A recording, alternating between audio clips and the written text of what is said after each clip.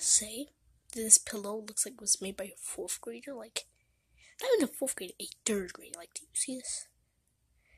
What type of ugly design is this? Like, what is this? Like, what is this? This ridiculous.